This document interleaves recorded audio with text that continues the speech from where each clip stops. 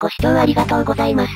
今回は、ウプ主の初めての、サンガスタジアム、バイ京セラを見ていただきます。よろしくお願いいたします。新大阪駅からスタートなんだな。そうよ。ここから新快速で京都駅に向かいます。この日は、雨でさらに踏切の関係で、電車遅れていたから大変だったよな。そうよね。1時間前にスタジアムに到着したかったので、遅れると大変でした。無事京都駅に到着。確かウプ主は佐賀の線初めてだったんだよな。そうよ、京都駅から乗り換え自体が、初めてだったので、迷わないか、心配でした。京都線のホームから、結構歩いたよな。佐賀の線ホームは端っこだったな。その佐賀の線のホームにあったお知らせ。本当にありがたかったです。この前の方の車両は避けないといけないな。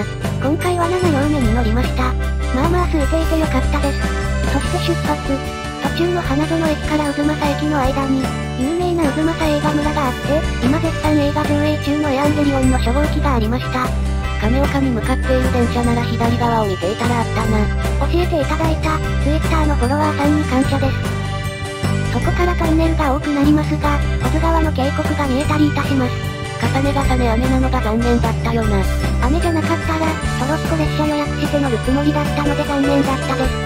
京都駅から25分ぐらいかな、亀岡駅に到着。駅から素晴らしいスタジアムが見えて、めっちゃ興奮したよな。そうよね。駅から近いって本当に素晴らしいよね。ちょっと歩いてホームメイン側の入り口から入ったスタジアム。本当に素晴らしいスタジアムだよな。ただ、今回は土砂降りで風もあったので少し濡れてしまったが、風がなかったら、立派な屋根で雨も防いでくれるし、ピッチからも近いから、迫力満点の試合を見ることができます。メインの方はコンコースで通り抜けができなかったな。そうよね。外に出て少し狭い道を取ってアウェー側に行きました。試合後、時間があったのでスタジアムを一周いたしました。これはアウェーチームのゴール裏から見えるスタジアム。これはバックスタンドだな。バックスタンドのコンコースは普通に通過できるので便利でした。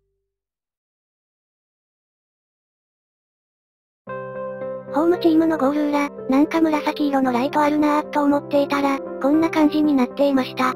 京都サンガを支えるスポンサーの紹介だな。本当に素晴らしいスタジアム、また行きたいと思いましたが、早くパナソニックスタジアムに行ってガンバの試合を見たい気持ちになりました。そろそろこの動画も終わりが近づいてきました。ここまでのご視聴ありがとうございました。